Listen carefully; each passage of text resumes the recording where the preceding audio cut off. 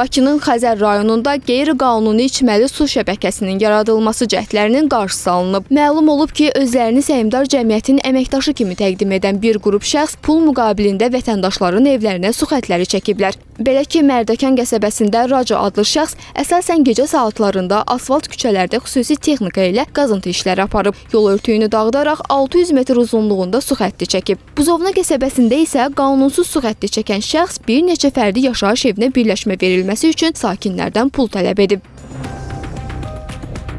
Deyirlər ki, su çək, biz su çəkirik, adama 1000 manat pul verəsiniz. 500, 300 əvvəldən vermək lazımdır, sonra həll olunacaq.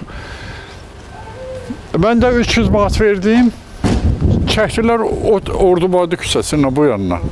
Bəzi vətəndaşlar onların vədlərinə aldanaraq tələb olunan pulu veriblər. Qanunsuz olaraq su xətləri çəkilib, evlərə birləşmələr verilib. Həmin şəxslər sayğacların qoyulacağını və abonent kodu veriləcəyini vəd etsələr də yoxa çıxıblar. Bu cür hallar ərazidə yaşayan digər sakinlər üçün də problemlər yaradır. Belə ki, qeyri-qanuni su xətlərinin çəkilməsi hidravliki rejimlərin pozulmasına səbəb olur. Nəticədə içməli sudan qanuni istifadə edən abonentlər normal su ala bilmirlər.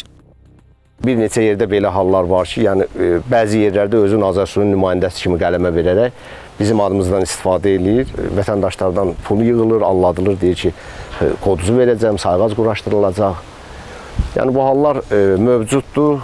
Qarşısının alınması üçün də tərəfimizdən e, deməli 2 nömrəli polis bölməsinə də e, müraciət olunub ki, yəni bu şəxs haqqında tədbir görülsün. Azərsu Açıq Səhmdar Cəmiyyəti vətəndaşlara tövsiyə edir ki, bu cür təkliflərə aldanıb sövdələşməyə getməsinlər. Çünki belə hallarda sənədləşmə aparılmır, abonentlər sayğacla təmin edilmir və kod verilmir. Üstəlik qanunsuz çəkilmiş su xətləri ləğv edilir. Şəbəkələrə özbaşına müdaxilə edənlərin əməllərinə qanunvericiliyin tələblərinə uyğun tədbirlərin görülməsi üçün hüquq mühafizə orqanlarına müraciət ediləcək.